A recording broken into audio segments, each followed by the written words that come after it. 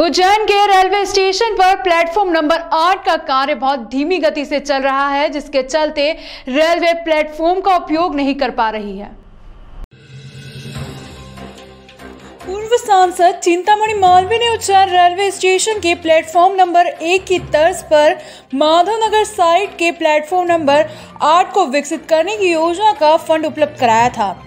ताकि एक number platform का लोड कम किया जा सके और माधवनगर और फ्रीगंज साइड से यात्रियों को ट्रेन पकड़ने की सुविधा मिल जाए।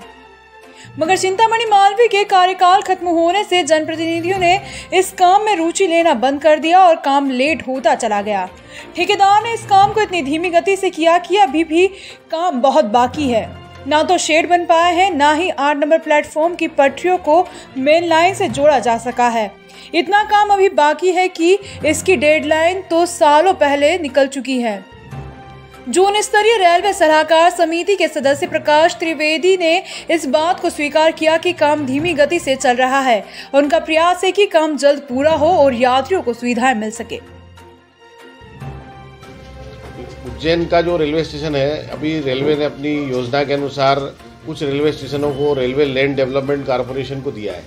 तो उज्जैन का रेलवे स्टेशन भी उसमें आया, दिया गया है। तो उसके तहत यहाँ पर प्लेटफॉर्म नंबर एक के पास जो जगह थी, उसमें एक पूरा कॉम्प्लेक्स बन रहा है और वो यात्रियों की सुविधा के लिए उसमें सब कुछ होने वाला है हाँ platform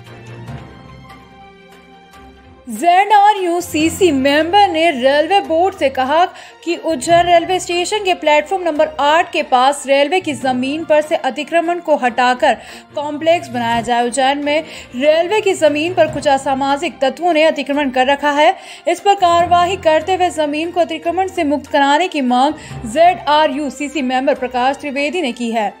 जानकारी देते हुए प्रकाश त्रिवेदी ने बताया कि उज्जैन रेलवे स्टेशन के प्लेटफॉर्म नंबर आठ के पास कुछ असामाजिक तत्वों ने रेलवे की ज़मीन पर कब्जा कर रखा है। इस पर रेलवे को जिला प्रशासन की मदद से ज़मीन को अतिक्रमण मुक्त कराना चाहिए और उस ज़मीन का स्मार्ट सिटी या फिर अन्य माध्यम से उपयोग करते हुए उस पर विकास कार्य किए जाने चाहिए।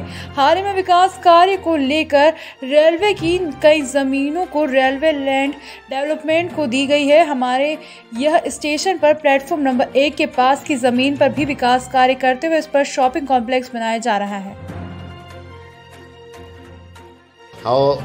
प्लेटफॉर्म क्रमांक आठ पे जो भी विकास कार्य हो रहा है, हम चाहते हैं कि उसके पास जो नीलगंगा तक जगह पड़ी हुई है, उसमें भी एक असामाजिक तत्वों के अतिक्रमण है, उनको हटा के रेलवे को उस ज़मीन पे भी एक जिला प्रशासन के साथ या स्मार्ट सिटी के साथ या प्राधिकरण के साथ मिलकर वहाँ पर भी कॉम्प्लेक्स बनाना चाहिए, और ये जो प्लेटफॉर्म क्रमांक आठ का काम है, इसको